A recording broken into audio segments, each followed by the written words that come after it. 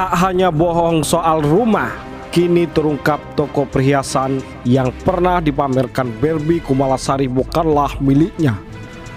Dilansir gridpop.id, Barbie Kumalasari kini turut menjadi sorotan publik setelah Gali Ginanjar terlibat masalah dengan mantan istrinya, Virus Arafik.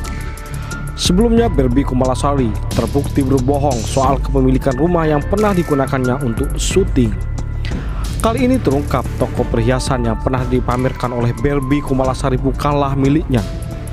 Sebelumnya, Barbie dan Gali sempat menunjukkan sebuah rumah mewah yang diakui mereka sebagai kediamannya. Hal tersebut tampak dalam tayangan Andai Trans TV pada November 2018 silam.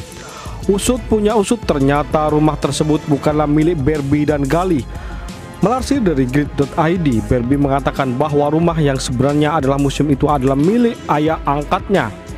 Kalau rumah museum itu kan rumah bapak angkat gue, ucap Barbie Kumalasari saat ditemui di kawasan Tendian Mampang, Jakarta Selatan, Senin 8 Juli 2019. Namun belakangan ini pemilik asli rumah itu justru membantah pernyataan Barbie. Lewat laman Instagramnya, Mr. Puisi pria tersebut menegaskan bahwa Barbie bukanlah anak angkatnya. Tak hanya soal rumah, kini Barbie terbukti berbohong soal toko perhiasan yang diakui sebagai miliknya. Barbie pernah menunjukkan toko perhiasan yang terletak di dalam pasar program selebrita Pagitan Setuju yang tayang pada tahun 2018 silam. Namun, fakta mengejutkan justru terungkap dalam tayangan Insert Trans TV Rabu 10 Juli 2019. Saat ditelusuri lagi ternyata toko perhiasan tersebut bukanlah milik Barbie Kumalasari. Meluruskan aja itu bener nggak sih?